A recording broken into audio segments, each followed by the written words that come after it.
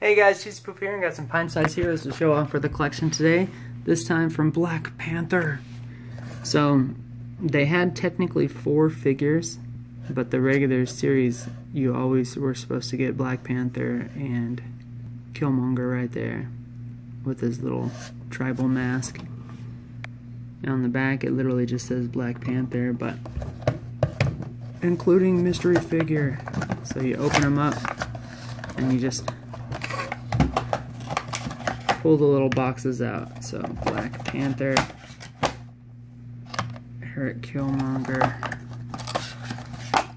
and then this version is Killmonger in the Black Panther suit that he has. So those are the three. I'll pull them out of the little plastic so you can see them up close. So there's our little friends pulling Killmonger out. You can see his little stylized eyes, his fun little mask that he's got going his Dragon Ball Z inspired outfit.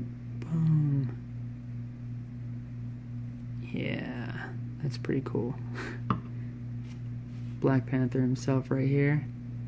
So, just like all the rest of the Black Panther pops, you can see his eyes through the mask and the rest of his face.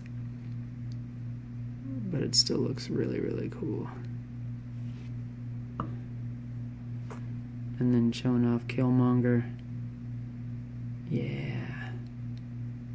All that little paint. I feel like seeing that. I doubt it, but it would be kind of cool if it was the, the glow in the dark paint that they used for the Target exclusive. So, doesn't. Oh, maybe it is.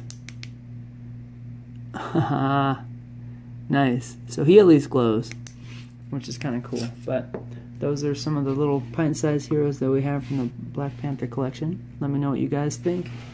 And with that being said, that's it for this time. Hope you guys enjoyed, and I'll see you later.